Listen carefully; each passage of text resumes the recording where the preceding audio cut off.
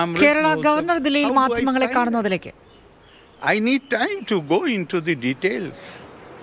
Some are saying that this is your So what will do if it It is for the, it is not my responsibility.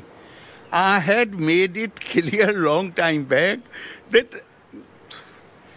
the Indian media has been so critical of our former president Fakhruddin Ali Ahmad Saab that he signed every ordinance without applying his mind.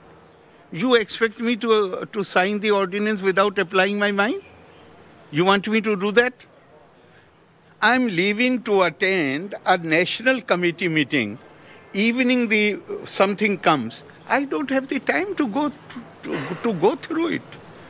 And secondly, we must uphold the spirit of democracy. Ruling through ordinance is not something which is desirable Sir, sir, sir, just one question. in a democracy. Sir, just one question. Some say that this is your displeasure towards government's move to cut off your powers through a, you know, other, another ordinance.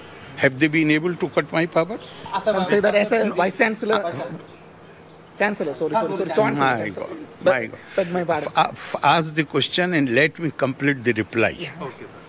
In between, I don't cherish that. Has is there any law, any statute which has which has uh, diluted my powers? Tell me, if there is any. But government is moving in. bringing an ordinance to Oh, when, when they, how can I reply to speculative questions? Nothing of that sort, nothing of that sort has happened. Where is the question of my reacting to an imaginary situation? This is a hypothetical. I've- why I should say hypothetical? You should come to the conclusion there is no such law which has not even an ordinance which has tried to curtail the powers of the chancellor.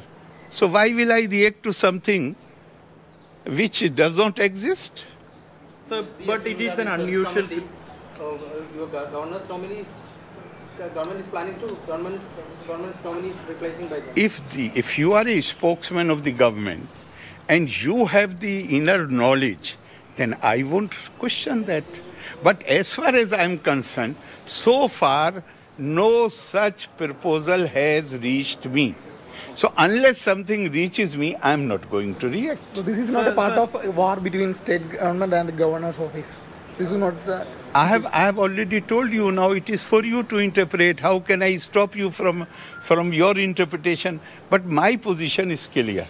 My position is that the constitution requires me to apply my mind. Why I am there in Kerala? Why any governor is there in his office?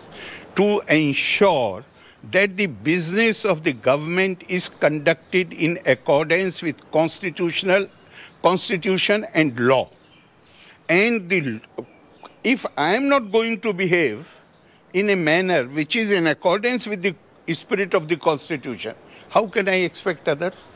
The Spirit of the Constitution is that in a democracy, no government can rule for longer period. Certain emergency is there.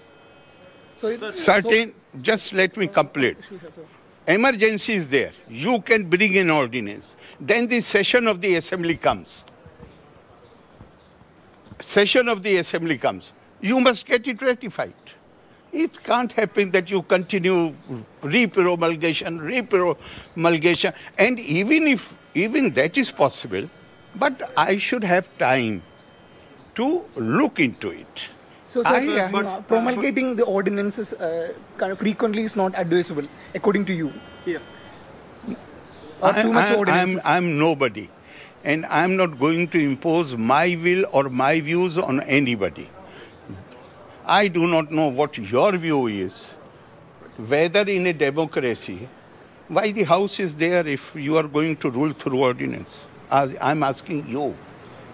So why you say according to you? no, ordinances are meant for Supreme. Court, Supreme Court has passed strictures against repromulgation and repromulgation of ordinances.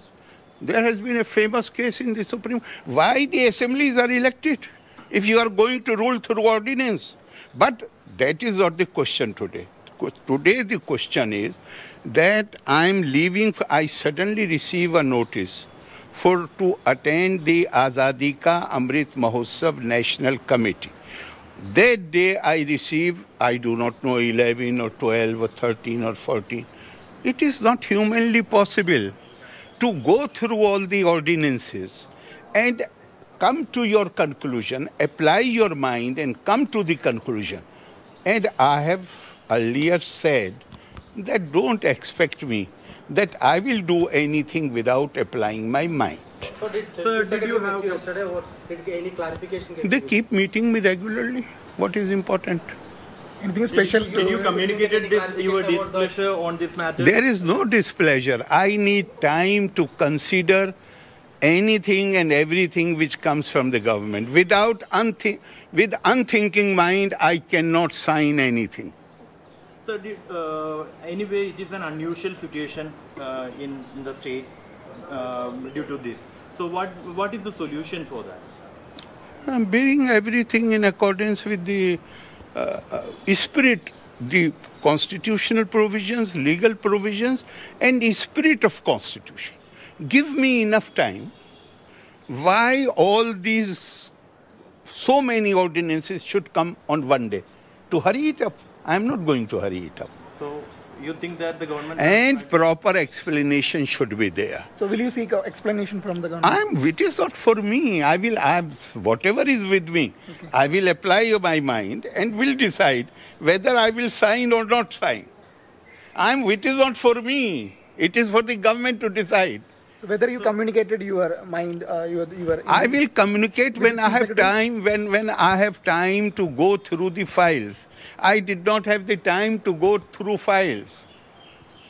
So, So you from the government side, they, they said that the you know the last assembly session is meant for discussing the budget session. So they couldn't. Uh, they have not, they might have shared the no- information with you.